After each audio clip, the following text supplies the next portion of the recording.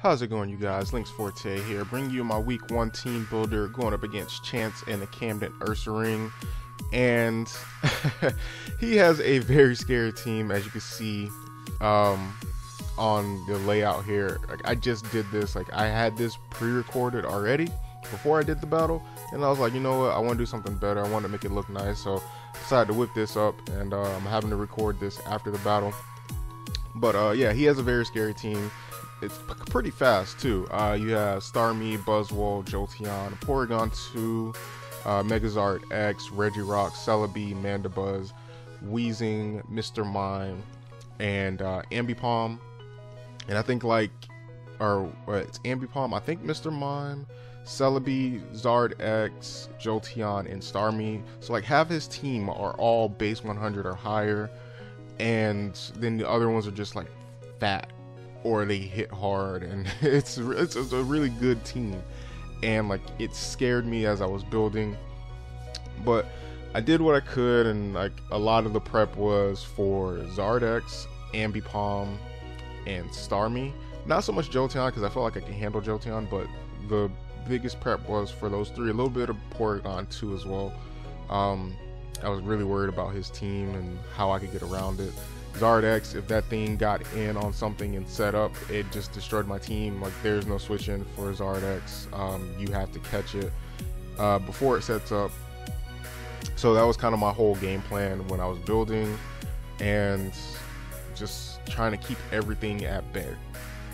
But let me get into this team real quick. The first Pokemon I'm going to bring is Nidoking, uh, rocking a Choice Scarf, uh, max special attack, max speed, modest nature, uh, Sludge Wave, Earth Power, Thunderbolt, Toxic. Toxic seems weird, but the reason I wanted Toxic is for that Porygon 2, just to whittle that thing down. Uh, Celebi was there. I think Celebi is the only Pokemon on his team that could, uh, as as far as, as a cleric, I think Celebi gets Heal Bell. Maybe Mr. Mime gets something too. Celebi either gets Heal Bell or Aromatherapy. Maybe Mr. Mime gets one of those two. I'm not sure.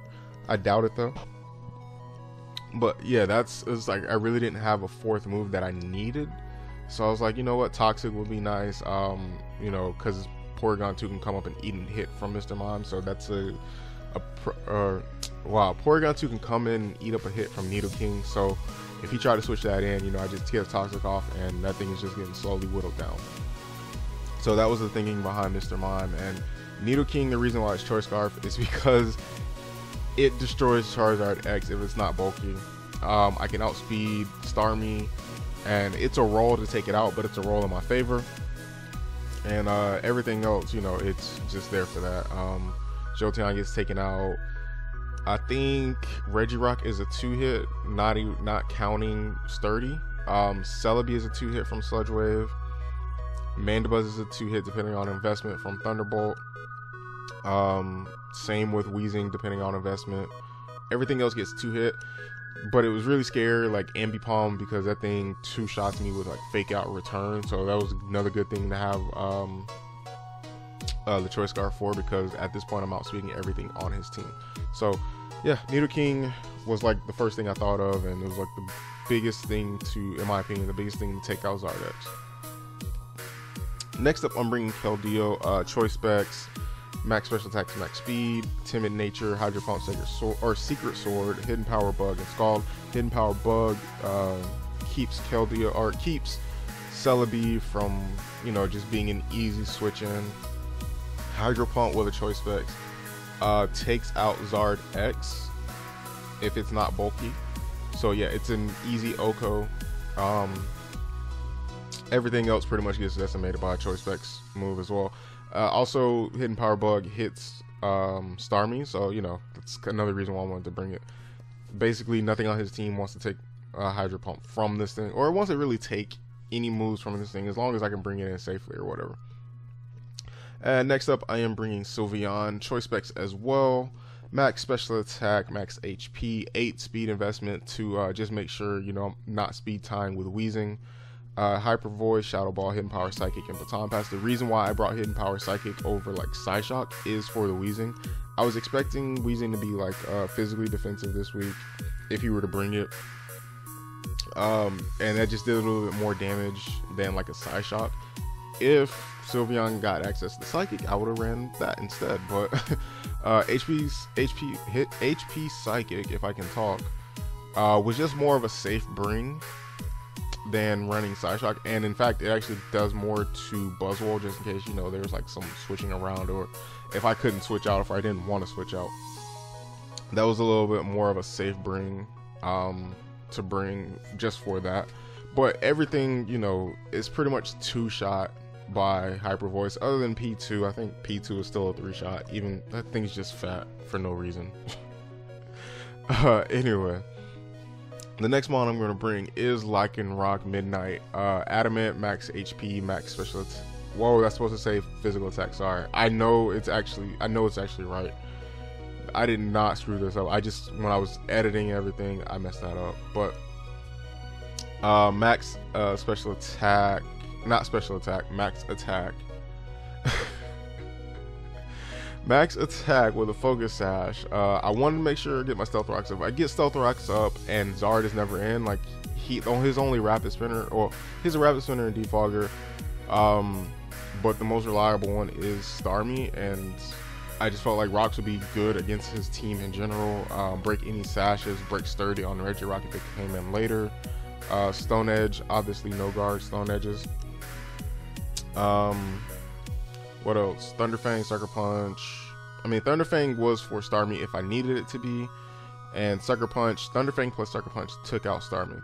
And for whatever reason, like I stopped putting abilities on after Nidoking, and no, after this one, for whatever reason, I don't have the ability on, and whatever. Um, for the next couple ones, it's not gonna have the ability, but I'll tell you what they are. It's no guard for this one.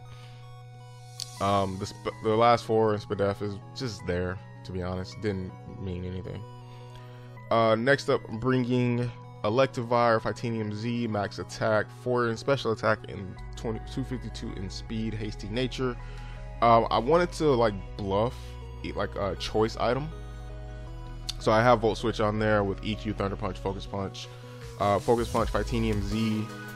I can't remember if it OHKO'd P2, but I know it did a lot to where my next move would actually take it out. But you know, uh, if I could bluff enough to where Volt Switch, yeah, I'm Volt Switching around enough to make him think like I'm special, or you know that P2 can eat up a hit. Uh, I can catch him off guard with a Fightinium Z Focus Punch, hit him hard, and then uh, you know just force him to switch in, try to see what his switch into Electivire was. Which, looking at his team, it's probably going to be P2. Um, but yeah, it's that's just what my plan was with that. Last but not least, I am bringing Kecleon, and I forgot to change the item in this layout. Man, I got to make sure I'm paying attention to what I'm doing. But Kecleon was actually carrying an assault vest. uh, 252 in HP, 12 in defense, and 244 in special attack, yeah. uh, it's carrying Psybeam for the Weezing, Thunderbolt for Mandibuzz and Starmie, and then Shadow Sneak because priority, and then Fake Out just in case. Um, the EV spread actually, yeah, yeah, that's right. It's uh, the EV spread um, on the defensive side. It, it was just extra, and spoiler alert, it came in it came in handy, but uh, the assault vest with the HP allowed me to live uh, Hydro Pump from Starmie pretty easily, and then you know hit it with a Thunderbolt, and then uh, Shadow Sneak it. And that was that's what the the uh, calc allowed me to do, and that was basically it. Like I just needed something else, and I wasn't sure what else to bring, so I ended up bringing that. But um, yeah, that's pretty much it for this, you guys. Um. I will make sure next week when I do this, like I have my slides right as far as what my EV spreads and my items and my natures and abilities and all that stuff is. But thank you guys so much for watching. Leave a like, comment down below as to if you think I brought a great team, uh, what you what you predicting for the battle tomorrow.